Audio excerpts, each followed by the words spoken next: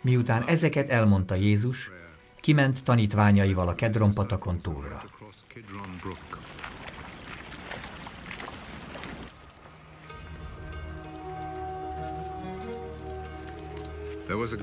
Volt itt egy kert, ide ment be tanítványaival együtt.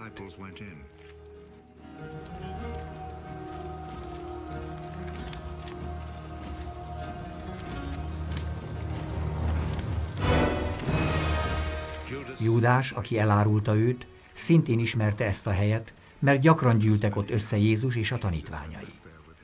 Júdás tehát maga mellé vette a katonai csapatot, a főpapoktól és a farizeusoktól küldött templomi szolgákat, és odament fákjákkal, lámpásokkal és fegyverekkel.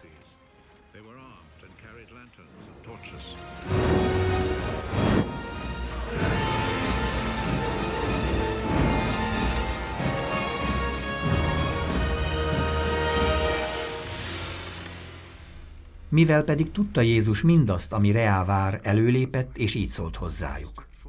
Kit kerestek? Azok pedig így feleltek. A názáreti Jézust. Én vagyok, mondta Jézus. Ott állt velük Júdás is, aki elárulta őt. Amikor azt mondta nekik, én vagyok, visszatántorodtak és a földre estek.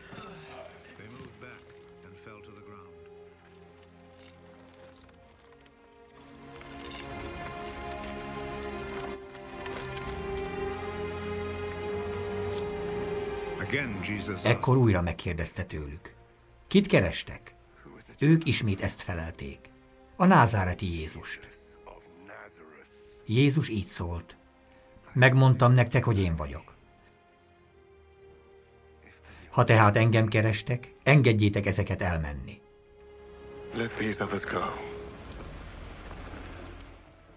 Így kellett beteljesednie annak az igének, amelyet mondott, azok közül, akiket nekem adtál, nem hagytam elveszni senkit.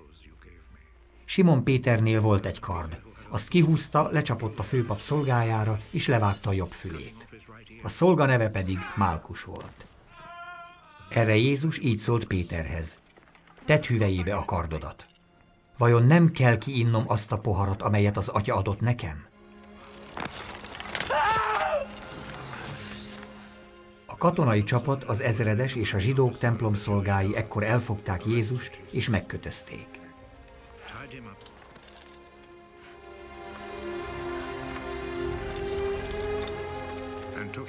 Először Annáshoz vitték, ez ugyanis apósa volt Kajafásnak, aki főpap volt abban az esztendőben.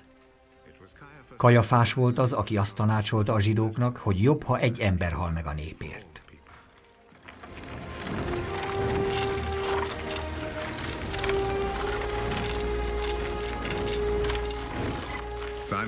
Simon Péter és egy másik tanítvány követte Jézust. Ez a tanítvány ismerőse volt a főpapnak, és bement Jézussal együtt a főpap palotájába. Péter pedig kívül állt az ajtónál.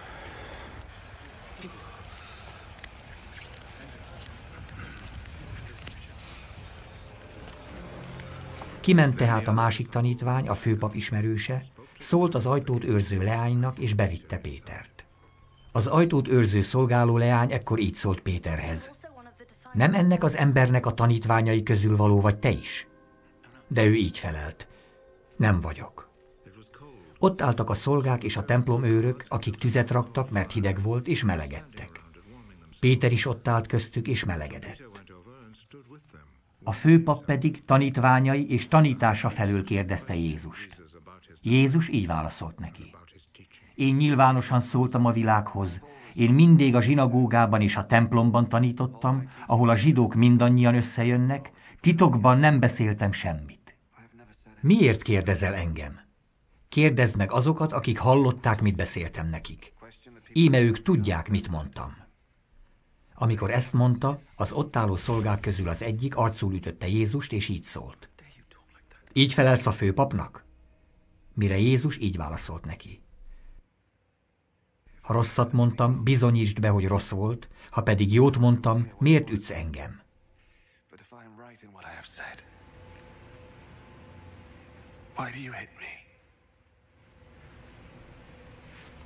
Annás ezután elküldte őt megkötözve Kajafáshoz, a főpaphoz.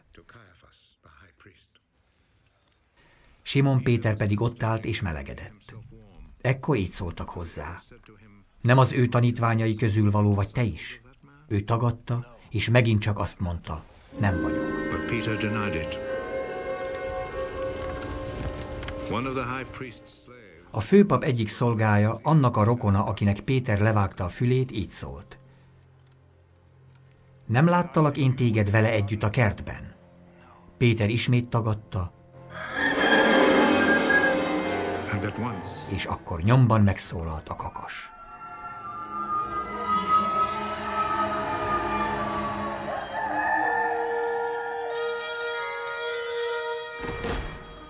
Jézust Kajafástól a helytartóságra vitték. Kora reggel volt. Akik vitték, maguk nem mentek be a helytartóságra, hogy ne legyenek tisztátalanokká, hanem megehessék a húsvéti vacsorát. Pilátus ekkor kijött hozzájuk az épület elé, és megkérdezte. Milyen vádat emeltek ez ellen az ember ellen? Ezt válaszolták. Ha ez nem volna gonosztevő, nem adtuk volna át neked. Pilátus erre ezt mondta nekik. Vegyétek át ti, és ítéljétek el a ti törvényetek szerint. A zsidók így feleltek. Nekünk senkit sincs jogunk megölni. Így kellett beteljesednie Jézus szavának, amelyet akkor mondott, amikor jelezte, milyen halállal kell meghalnia.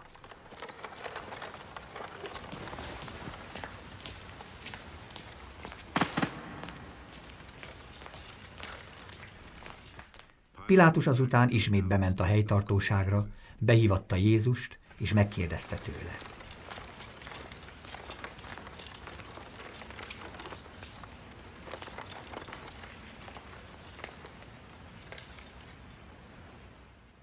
Te vagy a zsidók királya?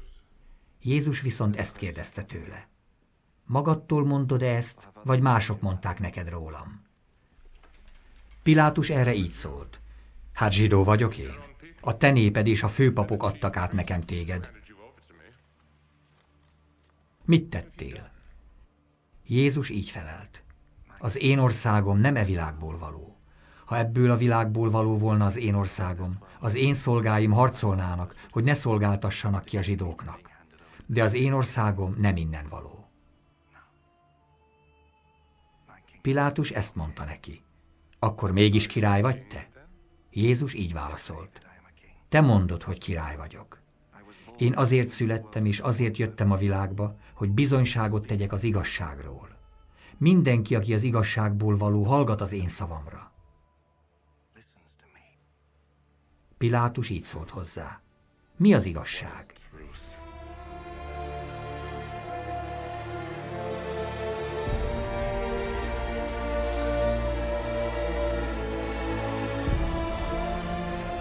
Miután ezt mondta, ismét kiment a zsidókhoz, és így szólt hozzájuk. Én nem találok benne semmiféle bűnt.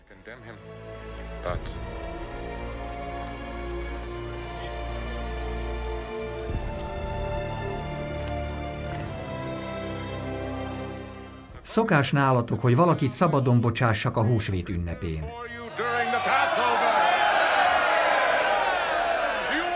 Akarjátok-e hát, hogy szabadon bocsássam nektek a zsidók királyát? Ekkor újra kiáltozni kezdtek. Ne ezt, hanem Barabbást!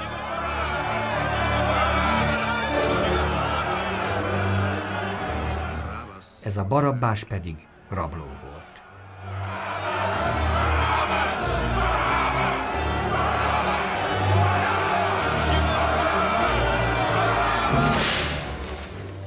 Akkor Pilátus elvitette Jézust, és megkorbácsoltatta.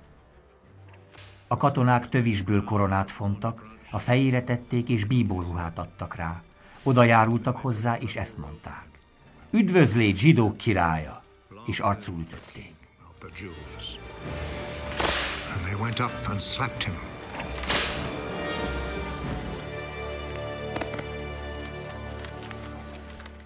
Pilátus ismét kiment az épület elé, és így szólt hozzájuk.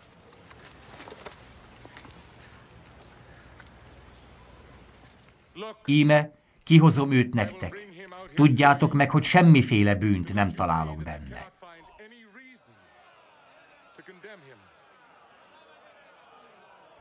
Ekkor kijött Jézus az épület elé, rajta volt a tövis korona és a bíborruha.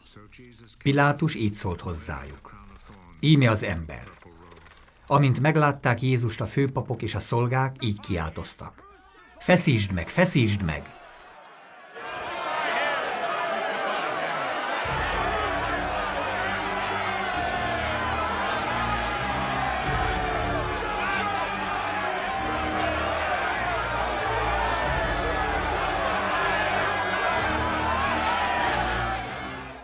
Pilátus pedig ezt mondta nekik.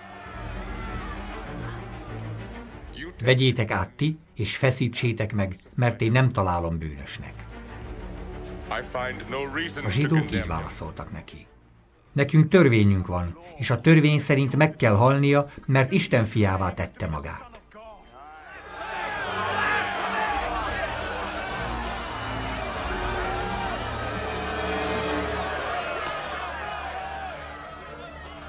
Amikor Pilátus ezt meghallotta, még nagyobb félelem szállta meg.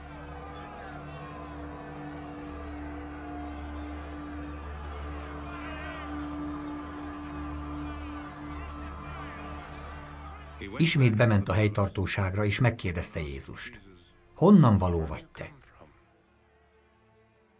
De Jézus nem felelt neki.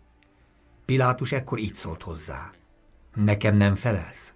Nem tudod, hogy hatalmam van arra, hogy szabadon bocsássalak, de hatalmam van arra is, hogy megfeszítesselek. Jézus így válaszolt. Semmi hatalmad nem volna rajtam, ha felülről nem adatott volna neked.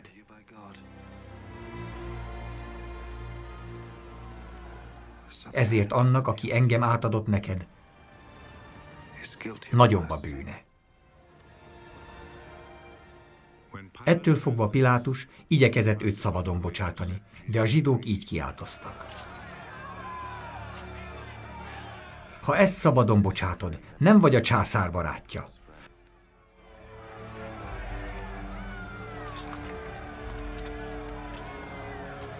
Aki királyá teszi magát, az ellene szegül a császárnak.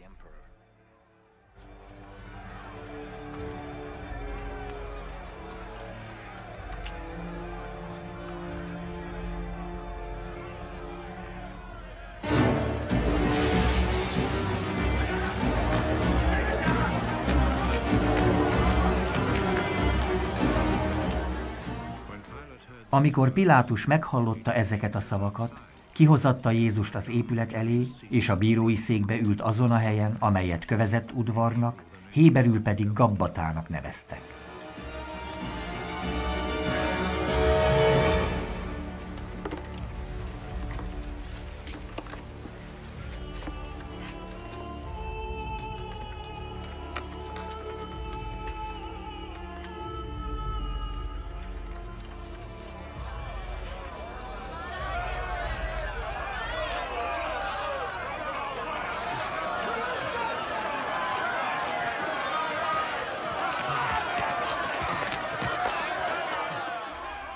Húsvétra való előkészület napja volt, délfelé járt az idő.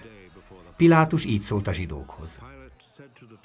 Íme a ti királyotok. Azok pedig felkiáltottak. Vidd el, vidd el, feszítsd meg!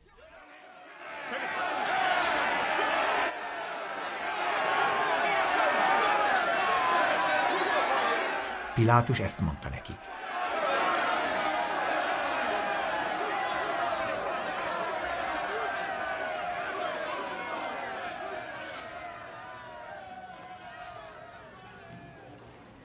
A ti királyotokat feszítsen meg?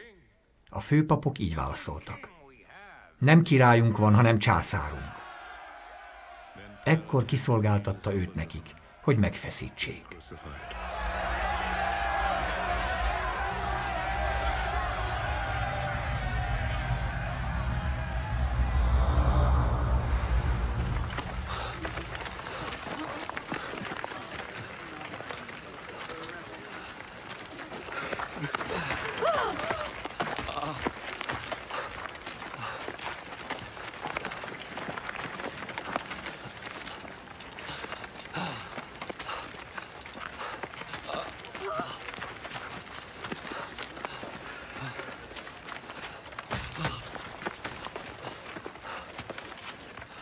Átvették tehát Jézust, ő pedig maga vitte a keresztet, és kiért az úgynevezett koponyahelyhez, amelyet Héberül Golgotának neveznek.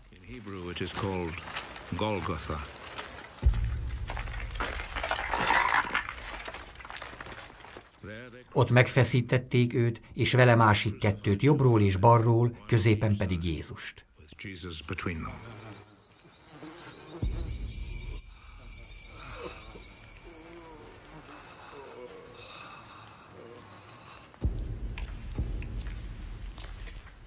Pilátus feliratot is készítetett, és rátétette a keresztre.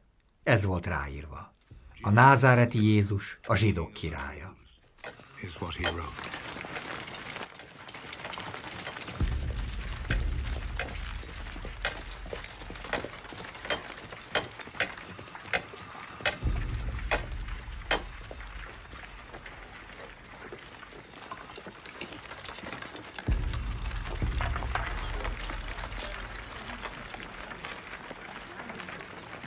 A zsidók közül sokan olvasták ezt a feliratot, amely héberül, latinul és görögül volt írva, ugyanis közel volt a városhoz az a hely, ahol megfeszítették Jézust. The notice was written in Hebrew, Latin and Greek. A zsidók főpapjai akkor szóltak Pilátusnak. Ne azt írd a zsidók királya, hanem ahogyan ő mondta, a zsidók királya vagyok. Pilátus így válaszolt. Amit megírtam, megírtam.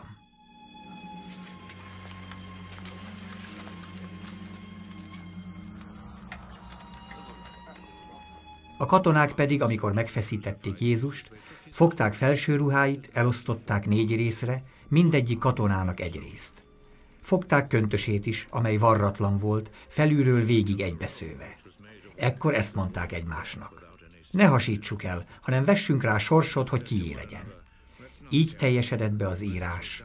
Elosztották ruháimat maguk között, és köntösömre sorsot vetettek. Ezt tették a katonák. Jézus keresztjénél ott állt anyja és anyjának nővére Mária, Klópás felesége, valamint a Magdalai Mária. Amikor Jézus meglátta ott állni anyját és azt a tanítványt, akit szeretett, így szólt anyjához. Asszony, íme a te fiad.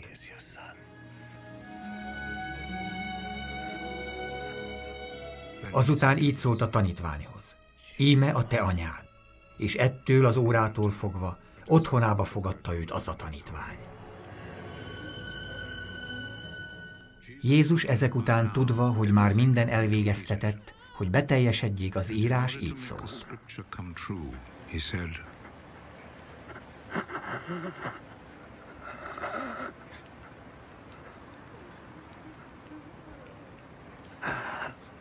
Szomjazom.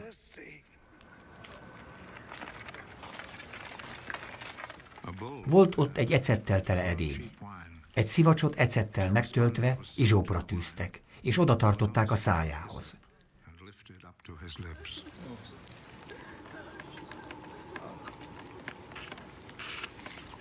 Miután Jézus elfogadta az ecetet, ezt mondta.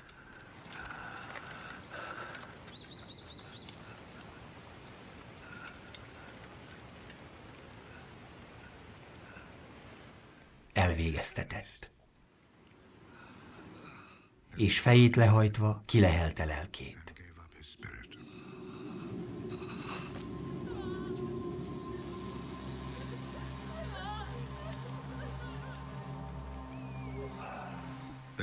Mivel péntek volt, a zsidók nem akarták, hogy a testek szombaton a kereszten maradjanak. Az a szombat ugyanis nagy nap volt.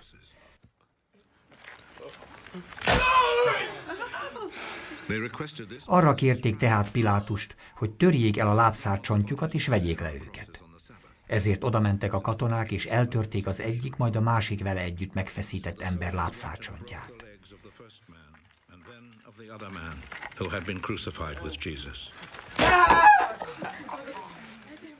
Amikor pedig Jézushoz értek, mivel látták, hogy már halott, az ő lábszárcsontját nem törték el, hanem az egyik katona lándzsával átszúrta az oldalát,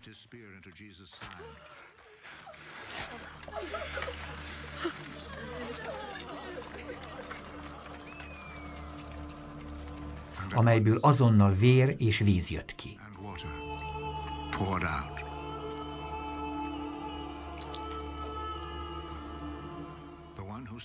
Aki pedig látta ezt, azt tesz róla bizonyságot, és az ő bizonyságtétele igaz, és ő tudja, hogy igazat mond, hogy ti is higgyetek. Ezek pedig azért történtek, hogy beteljesedjék az írás, csontja ne töressék meg. Viszont az írásnak egy másik helye így szól. Néznek majd arra, akit átszúrtak.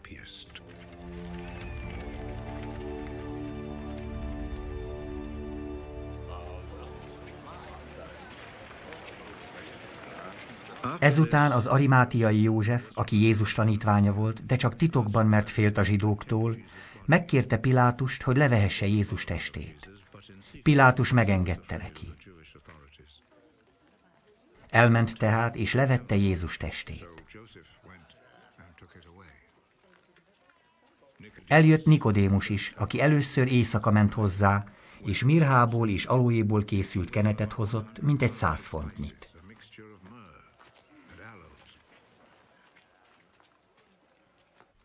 Fogták tehát Jézus testét, és leplekbe takarták az illatszerekkel együtt, ahogyan a zsidóknál szokás